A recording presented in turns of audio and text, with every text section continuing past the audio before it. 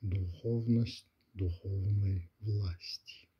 Это второй смысл банкноты 10 тысяч тенге, лежащие на байковой поверхности 16 июля